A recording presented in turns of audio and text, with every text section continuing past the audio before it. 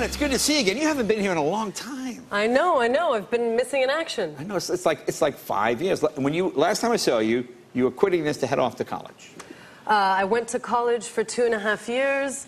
Now I'm a college dropout like Bill Gates, and for the last two years I've been doing seven films. Well, like Bill Gates, I like that. Well, that- you have to, you know, take everything in stride. Yeah, yeah. Yes. Also, like Larry McCrelly. Who I don't know. Exactly, dropped out of college. Of Yes, course. Well, I might, you know, you can pick one or the other. All right. Are you going to go back and finish? Do you think? Uh, all of my friends have graduated, and I made such wonderful friends. I think if I went back, uh, I'd be kind of lonely. But my little brother, uh, he's 17 and a half, and he's the greatest thing on the planet. And um, he just got into Princeton. Wow. And he's really, yes, isn't that wonderful? And um, he's so smart, and I think I might take maybe some classes there with him secretly when I go and visit him and annoy him, and maybe I'll seduce all of his professors so that he maintains like a straight A average. That's my plan. How'd you like to get back on this show? How did I get back on this show? well, that's, it remains to be seen. But now, now I know you're in New York now. You got the apartment. You're doing that whole thing. I did. I just uh, bought an apartment in New York, and Okay. I moved in. And uh, Furnished? No, I just have a mattress. I have a Tempur-Pedic mattress, which is my first time with you know that you know it's a spacecraft thing, and your body digs into it, and Oh. that's all I have in there. I'm not. I haven't decided whether I really like it or not.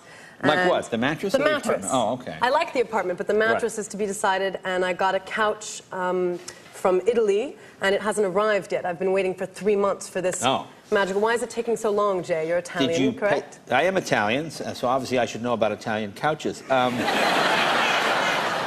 um, did you pay for the couch first?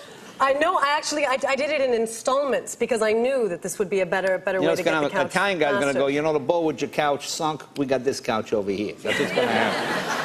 What, are there no couches available in America? I no, thought we this had a this number of beautiful couch. I fell in love with this couch, but what, why? What was it about? Was it the fabric? Was it the, the design? What was you it about? can you can stand up and fall on it, and it still has a beautiful clean line. But it's Really? really, it's, the whole thing is made with you know feathers. So you get drunk a lot in the apartment, apparently. Yeah. Well, you know, it's well, there's you don't have to drive. You know, you can walk around in New York. But all I have is a mattress. So when my friends in New York, I'm a new single girl in my apartment, come over, all I would have is a mattress. Wow, that's, So that's all you need when you're a single girl in New York.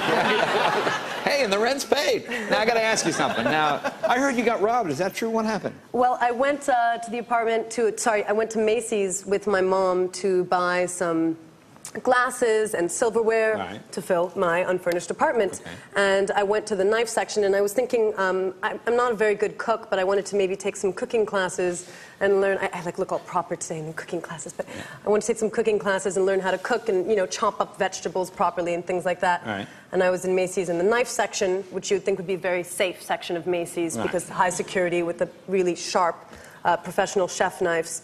And I had my purse in a cart, and it got stolen. And then when they reviewed the security tapes afterwards, uh, they found out that two little boys, like actual little boys, stole my cart from me. The whole This cart? Is, Pushed yeah, the whole this is what a like strong New Yorker I am. They took my purse and the card and everything, and they took Clinique. I had Clinique products in the cart, and it was my first time with a Macy's cart. And I still have to pay the payments for the items minute, that were wait. stolen by the little Wait. boys. Had you paid for the items in the cart yet? Uh, I, had, I purchased them, but they were stolen in the Macy's. Oh. Uh, the little boy stole my Okay, Clinique and okay. my cart.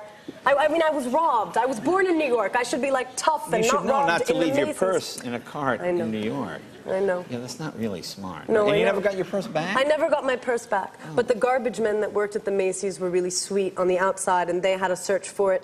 And all the security guards um, Mm-hmm.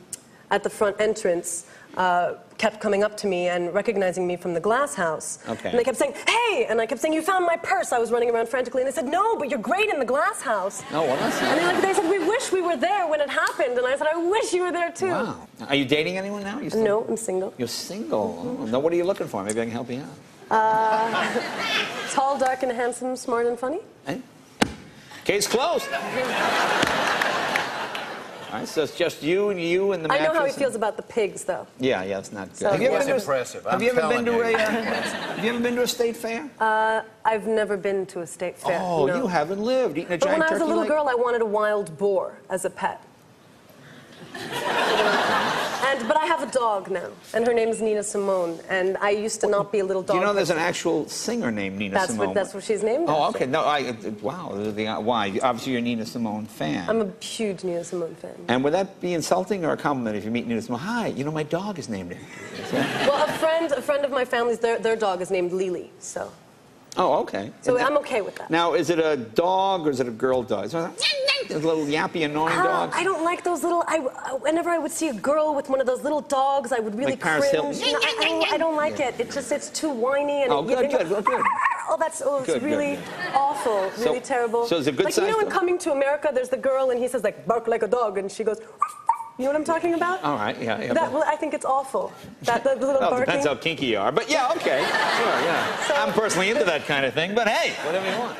Well, I trained, I trained my dog kind of, I read this article about how the children of deaf parents um, don't cry as much and they like move their arms more and hit things because that what, um, that's what they get the attention from their parents when they like hit things and move around. And uh, I trained my dog in that way so that when she would bark unnecessarily or, or would whimper, I would ignore her. But if she came up to me and like licked me, then I would, you know, pay attention to her. And even though she's a little dog, uh, she's really scraggly, and I cut her and groom her myself, so she doesn't have like ribbons or any of that crap in her okay. hair. She's right, she's uh, she's good.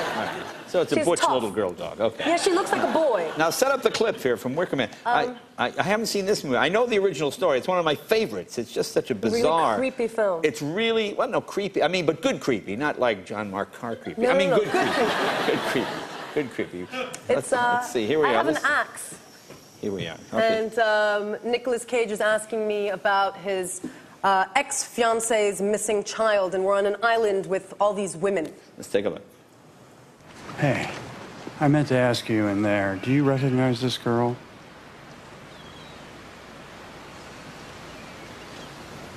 No. What's happening here the day of tomorrow? You mean the day after tomorrow? It's kind of a strange way to put it. Yeah, I suppose. I, I, I thought the other was a, a local expression. Let's see, day after tomorrow would be May the 2nd. Oh, nothing as far as I know. No, I, I mean tomorrow. What's happening here then? I told you. You did? When you leave, will you take me with you?